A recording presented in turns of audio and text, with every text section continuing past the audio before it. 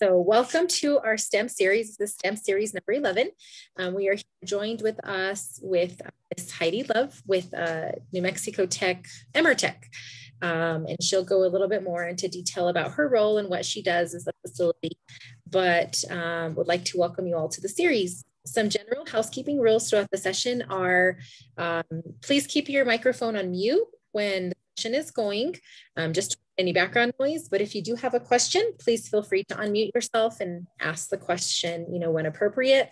Um, please feel free to utilize the chat. So if you're not sure where that is, it's at the bottom of your screen. There's like a little text bubble looking thing. Um, and so it works just like a text message. Um, and also Heidi, when your session is going on, we'll be helping you to monitor the chat because when you're sharing your screen, the chat like pops up really, really in a weird place. So we'll help you monitor the chat with any questions.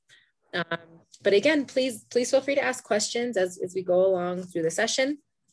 For our students on the line, um, to receive credit for attending the session, um, I will put in a chat as we get close to the end of the session. Um, it's a survey monkey. It's just an additional link to just complete a quick attendance survey. So um, just make sure you complete that before you leave to get your credit for participation.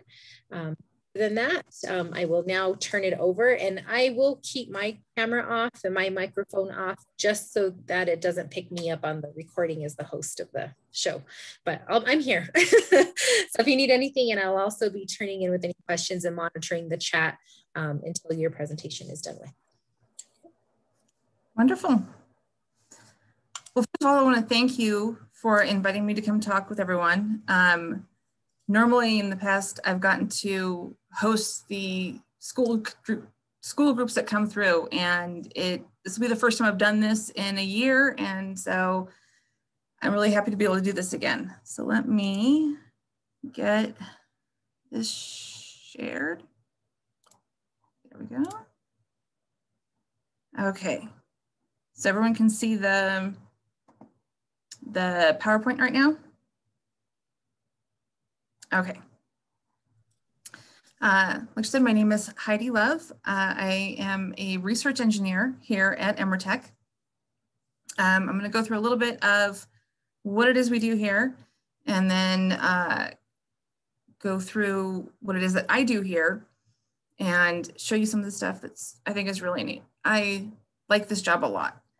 So we are the uh, Energetic Materials Research Testing Center.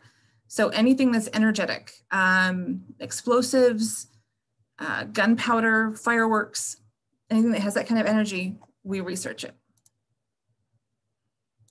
That's okay. We are a division of New Mexico Tech. Um, if you live here in town, if you live in Socorro, you see, you hear booms all the time. Just like you hear thunder. And during the day, totally clear sky and it's all the explosions that we're doing on the, our field lab. Um, we started over 70 years ago. Um, a Dr. Workman at UNM wanted to do some testing of a device that could help stop kamikaze pilots coming in, and they needed a big area. Didn't have it in Albuquerque, but we had it down here. We have um, a very large field test. This is the view of M Mountain from, if you can see my pointer there, that's M Mountain. That's the view from New Mexico Tech campus. And on here, ah, it went back. That, that big M is this little tiny area here. New Mexico Tech campus is the green area. The rest of this map is our field lab. We've got 40 square miles, 30 test sites. So if you see any of the little, all the little white lines, the roads, those are all places that we set up a test and it's far enough away from everyone, nothing else going on out here. Um, we, this makes this the largest campus in America. Even though New Mexico Tech is a very small university, um, this is owned by New Mexico Tech, so it's the largest campus. Um, we have, we share the land with cattle bighorn sheep, elk, deer, coyotes. Going out to a field, going out to one of the tests, um, we'll just run into 18 elk that are just crossing the street. Um, and it's a big priority for us that what we do does not hurt them. And that's part of our setup when we do our test is we have to make sure that we're not hurting the wildlife, we're not hurting the environment. This is just a small list of the things that we do. We do computer simulations, we do gun experiments, we'll do uh, explosive formulation development, helping to develop new explosives. Most of the research isn't done from us. Um, what will happen is a company or a professor, someone that wants to test something, they have an idea and they need to blow it up somewhere. Um, uh, if a company has developed what they think is a much better blast armor to help keep people safe, they need to blow it up. So they'll call us up and say they want to run a test. We'll help them design it. We'll help them figure out what they need. They'll come out and we'll do that here on in our field lab. Um, we also have professors here at New Mexico Tech that are developing new explosives. They're developing uh, ways to measure explosives, and they'll come out here and test that. It's a lot of fun. Um, so this is one of our largest explosives that we've ever done. It was 20,000 pounds. And we had to notify the town or we had to let people know that this was going to happen. It was really big.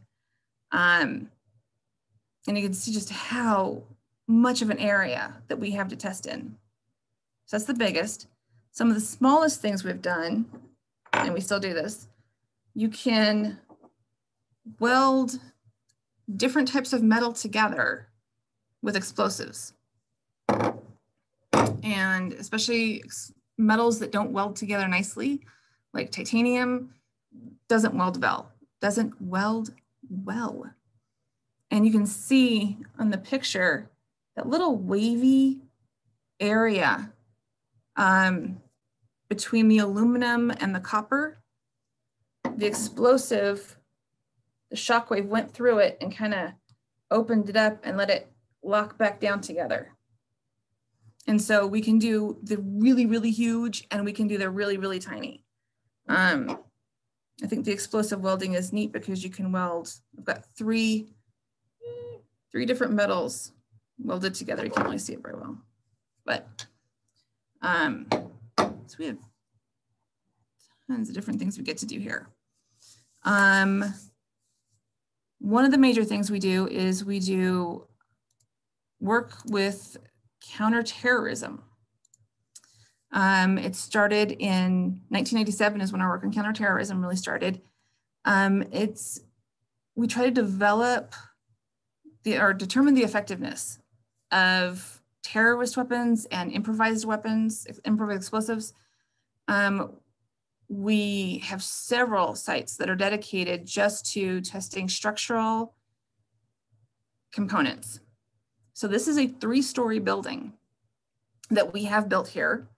And it's just like a skeleton of a building. And we'll cover the outside of it with whatever the building manufacturers want to test. They want to see if stronger glass would be better, or if for this it was metal walls would be better. What happens? And we blow it up for them. And that was a lot of fun. Um, this is an IED, like they have, like they use in um, um, Iraq and, and Afghanistan. This is only one pound of C4 in the vehicle. So a little bit can do a lot of damage. One of the other things that we do is we train first responders to what does it look like when a car bomb goes off? What do you look for afterwards? What was the car and what was the bomb? When it's all a destroyed piece of metal, which was which? So we do a lot of training with that. Um, it's, it's important to us that we help not only help science, but help keep people safe. Um, let's see, this is a video of a little tiny bit of C4 packed into a cylinder. And it's one of the ways they use to measure an explosive's effectiveness. If you've got a new explosive, you're not too sure how it compares with others, you can't really set it off and just take its temperature. There's a, a way to measure it, and that is by putting it in a standardized copper tube and seeing how long it takes for it to blow up. So when someone's developing a new explosive, we help them test it. We also do uh, various ballistics testing. This is a shadow, it's called a Schlieren photography, where you get in the, you get the pressure wave. But this one is neat because it is hitting that water droplet right there.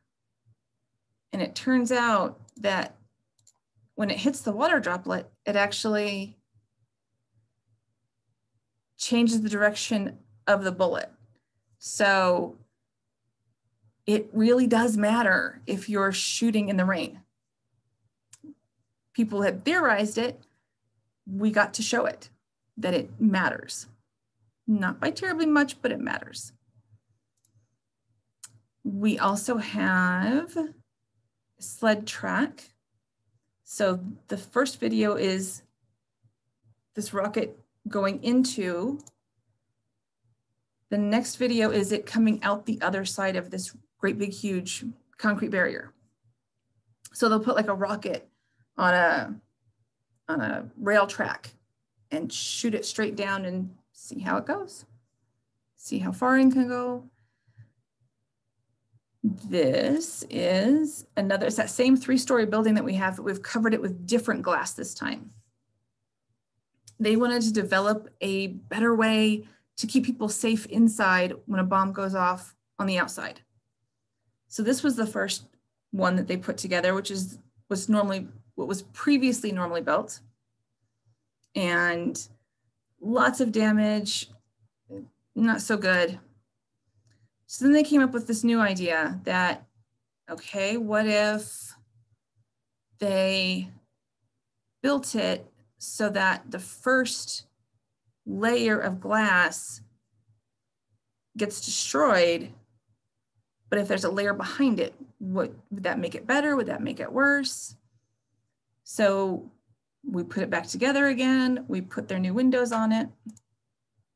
And what I always love about this one is you can see that explosion go off, and then that pressure wave come through. And you see that hitting as it hits the, the building. So they had these ideas, they tested them, and this is that same explosion, but from the inside of the building where we've got cameras, high speed cameras set up. So you can see that pressure wave coming again. And there's always this tension of when it's going to hit. It's great. So for this one, the really amazing thing, you can see the camera kind of falling back through the, the case. The outer glass gets destroyed, but the people on the inside would still be safe. So that was a really big development to be able to have the explosion hit and not turn the pressure higher inside and to one of the things is the, the, glass is one of the most dangerous things so it's not sending those glass fragments into the building the goldman sachs building in new york when they were rebuilding after 9-11 they used the research that we did here to make those buildings safer and stronger. So we're really, we're proud of that. We also do, we've got this little, we call this urban canyon. It's a one third scale city block. And all of these look little Lego blocks. We can move them around, we can put them in different configurations. Um, because there were theories about how blast waves would go around and computer models. Um, but it turns out they weren't all that good. Uh, there was a competition that uh, I can't remember if it's the UN or the US government put out. Um, various countries submitted their computer models. So everyone submitted a computer model of what they thought the blast wave would do as it goes around this city area. Um, all the computer models predicted way lower pressures than what we actually saw, much lower pressures. So all of these little dots that are, you can see in the blocks, those are all instrumentation holes. So we can build a one third scale city, set off explos explosions in different areas and measure how the pressure travels through. And we get so much information from that. This is that same explosion, but from the top. And you can kind of see how that pressure wave doesn't just blast through, it, it, it bounces and echoes, and sometimes it adds and sometimes it subtracts. And it's really complicated. Uh, so it's been extremely useful to be able to model it on the computer and then go out and see what it does in real life. Uh, this was another idea that was had. You know, the rhino lining in, in like truck beds and stuff. They wanted to see if we if we took a cinder block wall and put rhino lining painted all around it, would that make it blast proof? And so we made a cinder block building. We painted it with the rhino lining. We set off the explosions and the wall is still standing, but it turns out that underneath that lining, the cinder block is uh, powder. So it's a very unsafe building now. Even though the walls didn't collapse, it's they're pulverized on the inside. So it turns out that it's not a good idea. Um, we also, in, in, addition to explosions, we do ballistics testing, uh, which means guns um, shooting projectiles at whatever speed they want. Um, we'll have a group that needs a projectile to be hit at 3,000 feet per second. So we'll make that happen. We design the sabots, we figure out how much gunpowder to use, how much charge to use. We figure out the aerodynamics of it, and then we take instrumentation on all of us. We've got pressure gauges and cameras and we'll take the velocities. It all depends on what they need. This is an, called an arena test. What I like about this is all of these, the black, the black things are witness panels. So you see the explosion go off, and you see all the bright sparkly bits. That's all the fragments going through. So what we do with that is we measure all of those witness panels, we measure how quickly they got fragmented, how many fragments, how big, all kinds of measurements just from this. So we'll get a lot of information from that. Um, we've also got, you can see this little guy up there, how big this shock tube is. Um, we were doing that to try to measure what a blast through a subway tunnel would be like. How can we make that more, less damaging? And all of this is on this huge 40 square mile field lab we have out here. This is another thing um, that we've done out here. This is a simulated asteroid.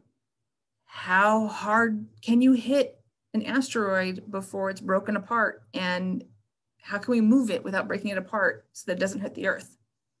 And it turns out that asteroids have, uh, they're mostly made up of rocks that are clumped together. So they made this pretend asteroid and we hit it and we see what does it do? And we'll do this several times. We'll do it with less energy and less energy to see if how it changes. We also have specialized cameras that can track these projectiles as they're flying through, which when this, this is going so fast, so it's quite an accomplishment to be able to watch this. Um, next one, kind of going through these fast because it's just fun to watch videos of things exploding. I like it. This was a meteor impact simulation that uh, the National Geographic Channel wanted to do. So we buried some explosives and set it off like the Earth getting impacted by a meteor. So that could be studied as how does the ejecta fall out? What does it look like? What kind of damage does it do? We have had Mythbusters out here. We've had National Geographic Channel out here. We've had the History Channel out here. Um, so many places because there's so much that they get to do. Um, this one is the Mythbusters destroying a car. They wanted to see what would happen when you hit a car. And that's the sled track. And the car just disappears. It just turns into this fine red mist. Um, that car was impacted at 500 miles per hour. Ah, whoops. So that poor car got hit at 500 miles an hour and it's just gone. Um, the explosion show came out and this is that same urban canyon where with the fake city, they wanted to blow up paint. So we, we could, we blew up paint. And I just thought it was so pretty. Normally we don't get a lot of pretty, but I thought this was fun. Um, and that was the result of it. So part of what we do, like I said, I myself don't do the research. A company or a researcher will have an idea and they want to test it. They don't know all the details about exactly what they need to use. Um, for instance, uh, the JPL, the uh, Jet Propulsion Laboratory, they're they have an idea for a balloon system that carries a seismometer, but it carries it in the atmosphere. And they want to be able to see if it detects earthquakes the same as a seismometer on the earth would, or that's actually buried in the earth. Because they're hoping to be able to send this balloon system to Venus so they need to simulate an earthquake. It's kind of hard to sit around and wait for an earthquake. So we go ahead and we bury 100 pounds of ANFO. But they don't know exactly what they want. They know that they want a certain amount of energy to happen. And they know they want it to happen every five seconds. They need three explosions every five seconds to simulate an earthquake they don't know exactly how what the right stuff to use they don't know how to make that happen but that's our job so they come to us with an experiment idea of we need to have this much energy happen at this time it becomes our job to figure out what are we going to use are we going to use c4 are we going to use ANFO are we going to use some other mix are we going to use um, do we need det cord to set it off or does it need better timing? What do we need to do? And then we also have to figure out how are we going to get the information from it? Um, as you can see, we use lots of high speed cameras. That's the only really way to see these explosions is to have these super high speed cameras. Um, but we also take, um, we've got these little pressure gauges. There we go. Um, and that is just this little tiny dot here. And it can measure extremely high pressures. So we'll put this, if there's like a wall, we'll have this sitting on one side of it and all the cabling coming out so that we can measure the pressure wave as it hits certain areas. We also use timing pins where there's like little, little tiny crystals. And as that crystal gets impacted, it produces an electrical charge, which then we record the time. So there's all kinds of information that we can get from these explosions. The explosions are fun. I like the explosions part, but the real important part is the data that we're collecting. How far did it make something move? How hard was that thing hit? How much damage did it receive? Uh, what was the acceleration? What was the velocity? So all of this is just in service of getting data. We're just using explosives to get the data. And then that is what we use to make um, decisions about what works better, what, what can be done better.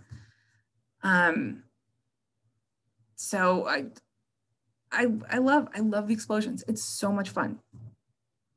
Um, some of the ways that you can trend, you can be able to do this kind of thing.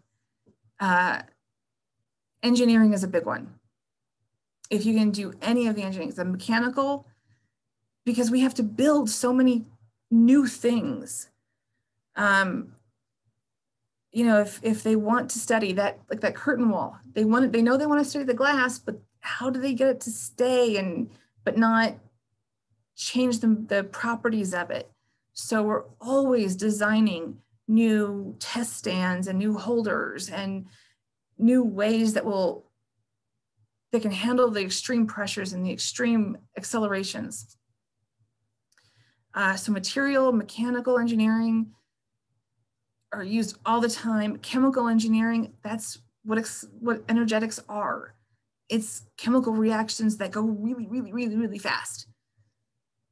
And we also need electrical engineers because when we have 50, we've got 50 gauges coming out of a test wall. Each one of those has a cable on it. And now we're talking how much resistance, how far can we go away with that, that, that gauge before we need to add an amplifier? How much is causing um, interference in the line so that we're not actually getting the data, we're getting uh, a phase shift on the electricity. All of that is, we need to have electrical engineers out here for that. And we all kind of will have teams where there's the, the research engineer that kind of comes up with the idea of how the experiment's going to be done. Then we've got the instrumentation group, and we tell them what data that we need. We need to be able to, we need five measurements of pressure and the pressure is going to be in the 10 Pascal, 10 gigapascal region. They need to know how, what kind of instruments that we're going to need to get that data. And then we also have the field crew. Um, they help, they build the things that we need built. Uh, welders and uh, machine shop the machine shop is invaluable. Uh, they know how to make something work just a little bit better, or no, that's not quite the right material. Let's use this aluminum instead of that. Um, carpentry is a huge one because we're always building stands for things. We're building fake houses, we're building dummies that are there just to get fragments in them. And if the wood is not strong enough, then it looks like there was more damage than it really would do. And if the wood is too strong, then it, it looks like it's safe when it's not. And then the heavy equipment movers, the forklift operators, the crane operators, all of this, we all have to get together to make these experiments happen. And like I said, I, I love it. I love it a lot. And these are just some pictures of neat explosions. There's even one of a little dummy up there. Um, so that is my quick, quick talk. Are there any questions? I can find the chat.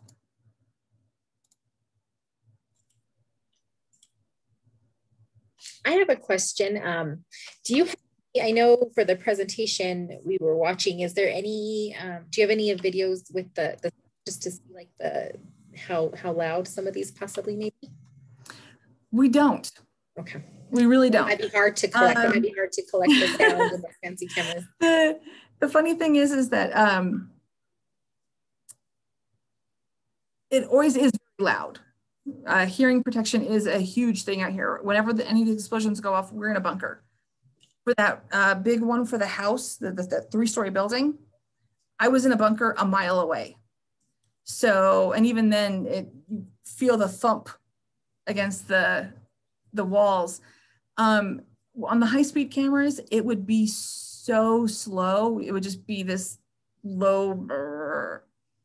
Um, but it it is loud, but it's always very very quick because you see the we're used to seeing explosions on movies and and like this where they don't ever show them just quick. They want them slow mo because it, they, they look really cool in slow mo and so it's always this slow thing but it's actually a very quick pop is what it always sounds like. Sounds like a very short thunderclap and that's about it anything else there are a couple of questions in the chat. Said one is, did you want to blow things up when you were a kid, or was it an acquired interest? Ah, that is a really good one. Um, it's the weird thing. Um, I am an oddball. I started in astronomy. The thing with the asteroids was mine. That was my fake asteroid. That was my master's work. And I realized that after I'd done that and had finished and the funding had run out and I was finished with my master's degree, I was having a hard think about okay, well, what am I going to do now? I mean, I've been working on smacking asteroids. There's not really a lot of work doing that here on Earth. Um, so I had to think about like, okay, well, what do I want to do now? And I really had fun trying to figure out how to make this fake asteroid how to make it work. Uh, they came to me with this idea of like, okay, here's two marbles, let's get them to stick together. Now make that bigger and make it like 500 marbles. And I really liked doing that. And I liked coming out to EMRTC to have EMRTC shoot it. And I was like, okay, so how can I do that more? And um, I was lucky enough to be looking when they were hiring. So I actually never thought this was not something I thought I was going to do, but I just have enjoyed it. And then the next question is how often you get to set off these types of explosions and conduct experiments? Is it more paperwork than field work? There's always more paperwork than I like. It goes in spurts. It's really strange. You will spend three weeks doing nothing but paperwork, writing the test plan because we have to start with, okay, this is going to happen. We have to we have to describe every single part of what's going to happen. Um, this equipment will be set up here. This big barrier will be set here. This will be set there. Everything will be set up. This is the instrumentation we're going to use. It's all going to go into this this recording device. Then it's going to go. We have to describe all of that. So all of that paperwork happens. And then when that's done and the customer comes out, we can be out in the field for weeks, every day, every day for weeks, being out there doing this testing. Um, but honestly, we, we're usually doing so much that I'll start that test plan. That customer comes out, I'll, I'll work out with them in the mornings and then I'll come back to the office in the afternoon, do the paperwork for the next test that's coming, go back out in the morning for the previous. So I'm, there's always something going on.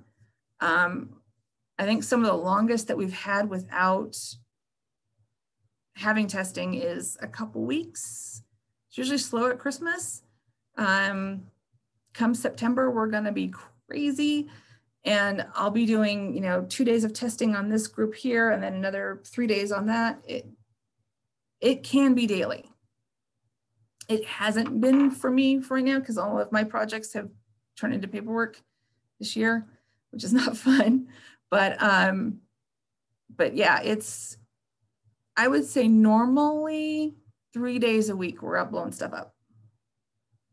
But we've got 12, 12 engineers here so if each one of those is doing three days a week, it, like I said, we'll have we'll have four or five test ranges all going at the same time. So they'll have blown they'll have explosions over here on this side of the mountain, you'll have explosions on that side of the mountain. So it's pretty constant. So then the next question, um, we actually have on the line with us also, we have um, um, Hillary, I don't, I don't actually know if you say your name Pineda or Pineda from the Office of Recruitment. It's kind of a both question. So it's I'm currently a junior at Cibola High School. For a while, I had trouble deciding what career path to take. Currently, I think I'm going to UNM and studying chemical engineering, getting my undergraduate after that. I thought going to New Mexico Tech to study explosives. Is this a good path or do you have any suggestions for me to follow? It's a good um, path. Yeah, I so depending I would highly suggest if you are interested in both schools, especially for your undergraduate degree, um, I would suggest going to each campus. We're very different. So, New Mexico Tech is in a small rural campus. Um, so, you really get that one on one attention with your professors. You'll pretty much know everyone on campus. Um, whereas if you go to UNM, you're at a much larger campus. Um, so, it kind of just, it's kind of what you like. And I would highly suggest, like I said, to go visit, see which campus is the best fit for you, which one you like more. Um, sometimes the benefit of going to a smaller campus is that you can get um, into research as early as your freshman year at New Mexico Tech, whereas some other mm-hmm. bigger universities, it's a little bit more competitive and harder to get into research. Um, and it's pretty much only exposed to you're only exposed to research your junior and senior year at other bigger universities. So um, it's kind of just what you think and how you feel and what you think would be best for you.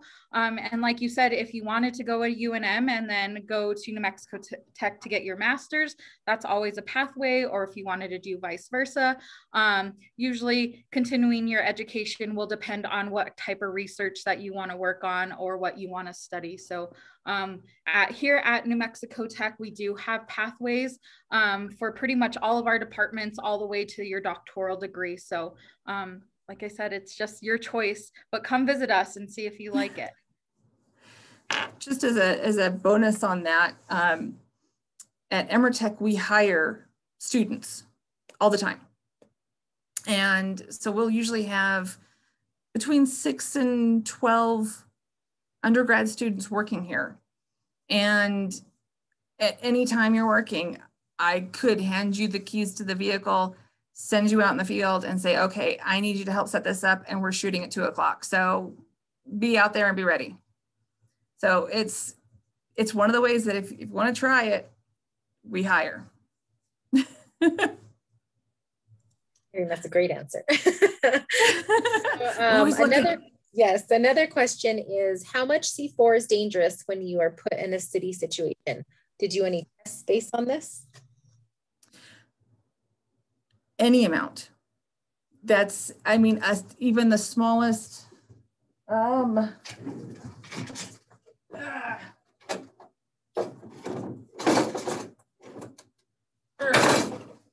we have stuff in my office.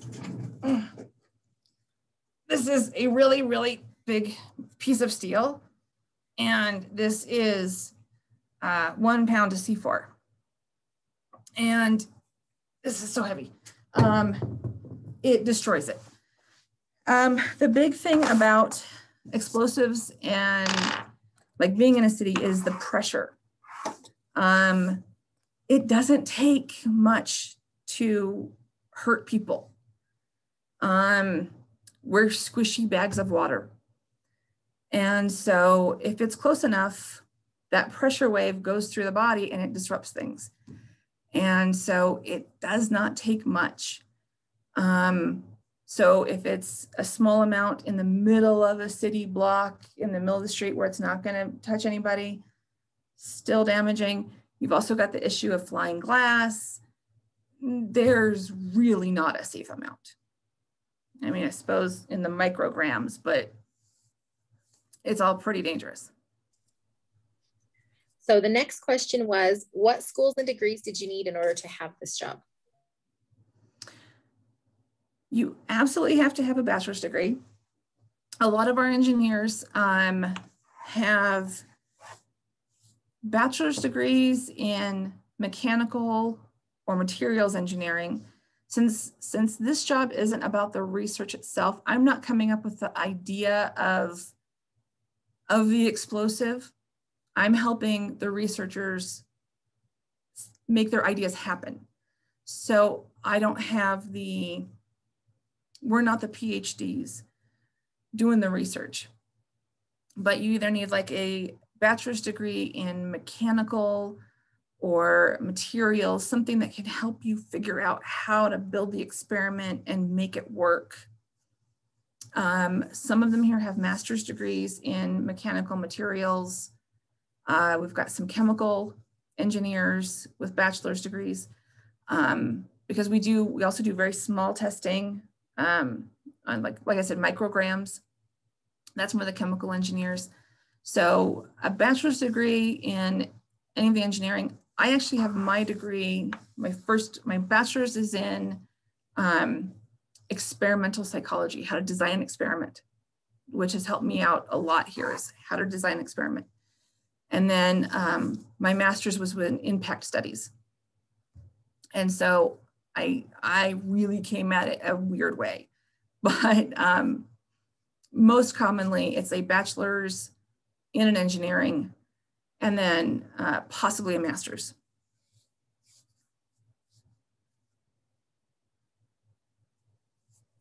Sorry, my mute button wasn't working quite well. No worries. Do the bomb explosions um, strength, length of time, and impact on the surroundings depend on the amount of atomic material that you use when creating the testing bombs? I don't know if that's a loaded question.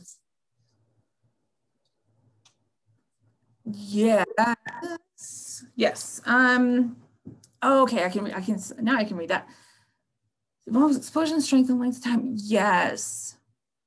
We, well, we don't actually use atomic energy here because this is, like I said, we are very protective of our environment here. We're very protective of, we have one person here, she is an environmental engineer and her job is to make sure that what we're doing is not messing anything up.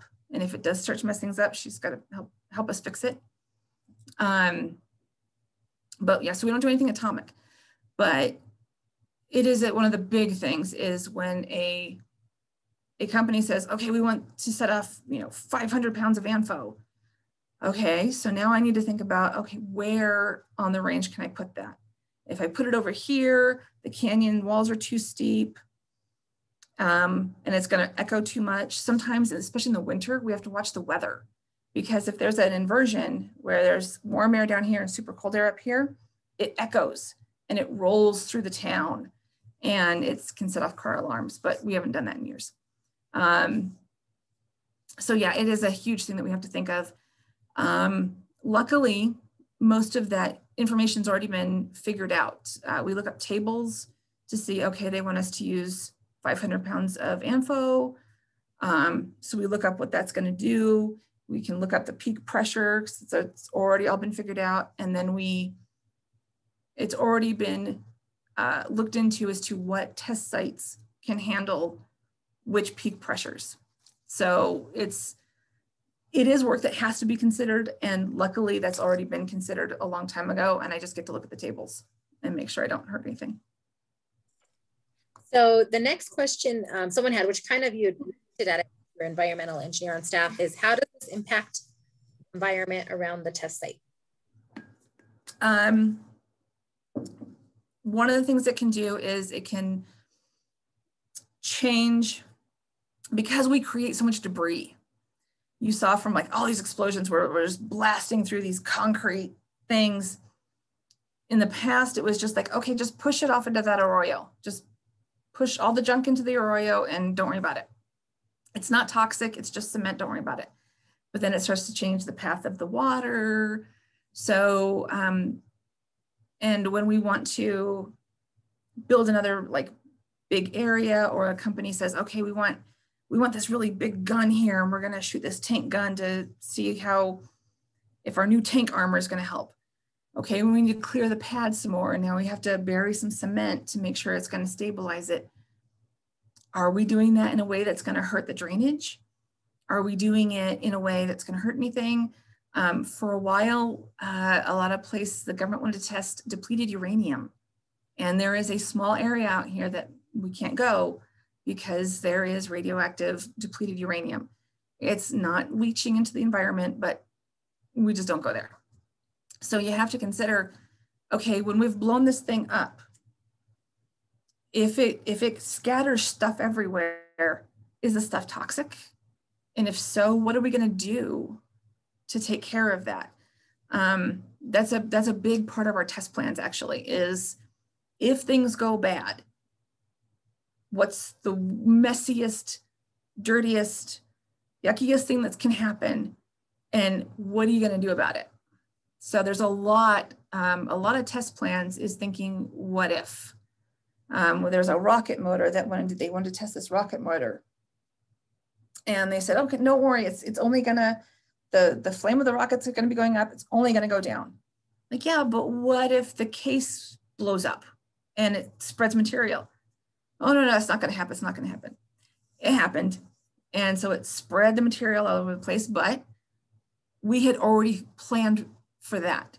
If it blows up, how far can it spread it? What is it gonna, is it gonna contaminate or how do we clean it up? So the whole idea of how are we gonna clean it up is a part of every single test we do, which makes a lot of paperwork, but it's better that way. Okay, so um, we have a few minutes left here, so I'm trying to get to a couple more questions. Um, the next one is, how do you pay for this program? It depends. Um, most of what's getting the honestly, the person that wants to blow things up the most is the US government. And so the US government says, hey, somebody, uh, we want a stronger set of armor. So some company will say, hey, I'll take some of that government money and we're going to develop this armor. And including in that is the testing for how we're going to test it.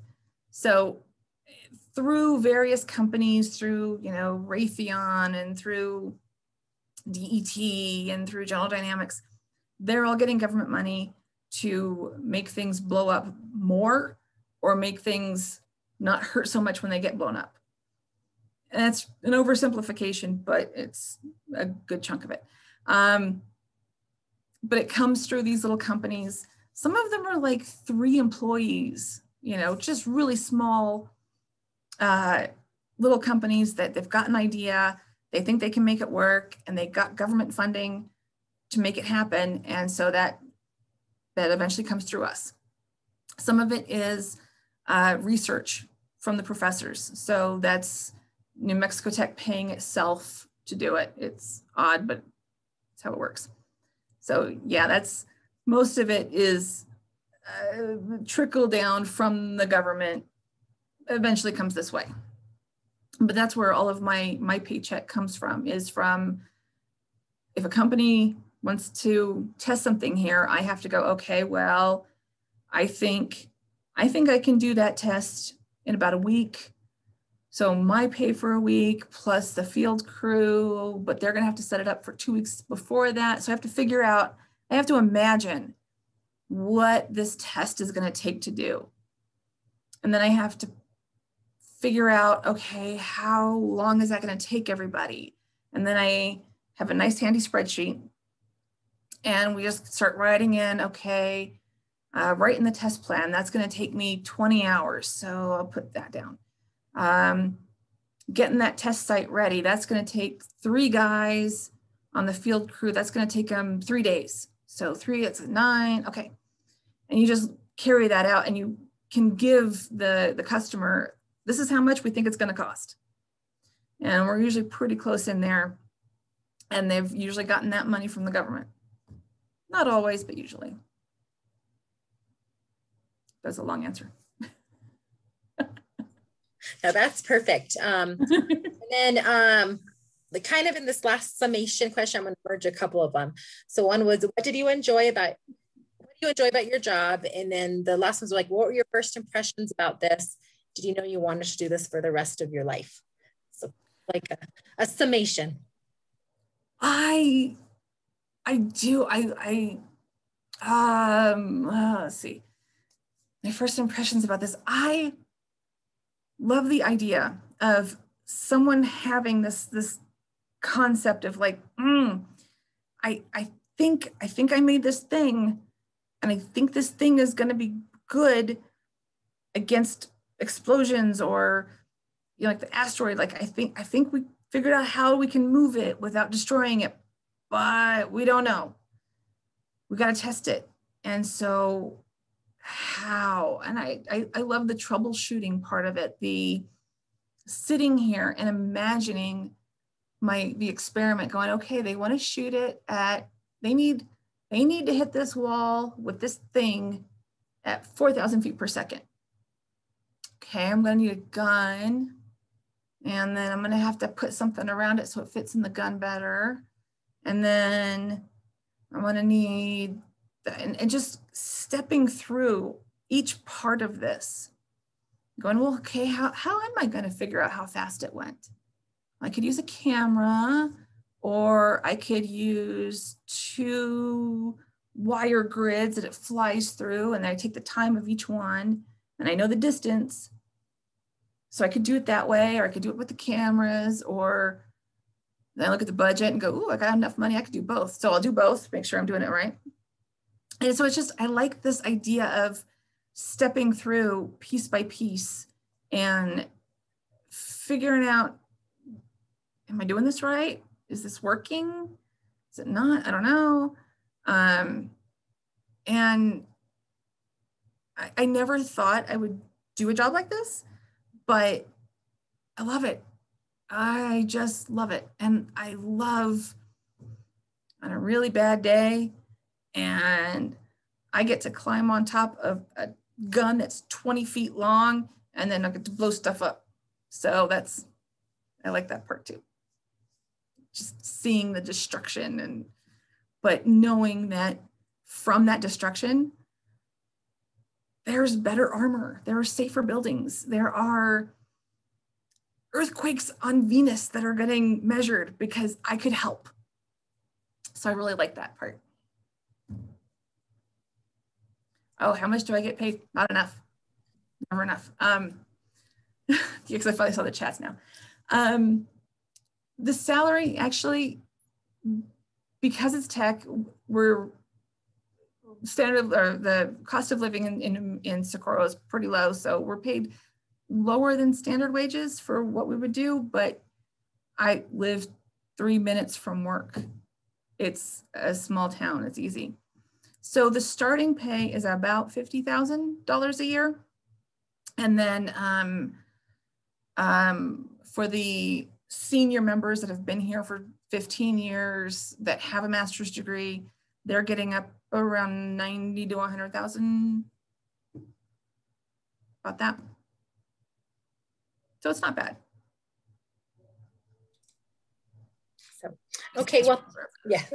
so you're able to see the chat, so that's good. But um, thank you so much um, for your time today. I do want to make a housekeeping announcement that um, chat box, I have placed the link for the survey and the attendance link. So um, students, before you leave, make sure you click on the link. It'll open up a new window. Make sure you complete the survey and hit submit to ensure that you get credit for attending today's session. Um, any advisors on the line, we are also tracking attendance. If you want to put your information also, please do, or just give general feedback. Um, but thank you all for coming today. Um, there's a couple little loose questions we have a couple minutes to answer for that are left. Um, is there was one about when there's an explosion on the ground, we'll end back in the spot where it exploded. Um, I think that might be an easier one. Or there's one about a use. So we can answer those in a couple minutes. Those are maybe the last couple of questions that I see in the chat. Uh, what was that last something if there's an explosion on the ground will anything grow back or will it stay a black oh yeah. Oh life always finds a way. There's if you leave it long enough there i mean it's new mexico so it, uh, it doesn't get filled in with grass very quickly. But yeah it it it's not really toxic. It doesn't contaminate the ground. Oh yeah there's we've been blowing stuff up here for 70 years and there's weeds everywhere. So it grows. One of the days I had to, um, we were having a, a test go off and there was this bighorn sheep that was just right over the test site. And we're trying to yell at it and we're trying to shoo it away and it wouldn't move. And so first we have to do this like little det check where it's like a little pop just to make sure everything's working. And I thought, okay, well, we'll do that and he'll go away. We did that and he didn't go away. I think he's deaf. I think all the animals out here have to be deaf from all the explosions, but they're okay. But I figured it was it was supposed to be an we're testing a non-lethal uh, crowd control thing. So I figured if it was non-lethal, it wasn't going to hurt the sheep, and we tried to make him go away. Um, but he just stayed there for a good chunk of the test and just watched. Uh, I guess he's fine. But yeah, he eventually wandered off. So entertainment, it's his daily entertainment. yeah, that's pretty much if the bighorn sheep can like sit there and handle it, I the plants have they don't care. well, thank you so much for all of your time and your answers. I know if you, now that you can open your chat if you want to go up and prove and there was a lot of cues there in the chat. So um, we really appreciate your time and your expertise and and just uh, you know informing us on this topic. Um, thank you so very much. Absolutely. And um, if anyone ever comes to tech, if they come to tech and we're hiring, we hire students. So come work here, come get out there and blow some stuff up too.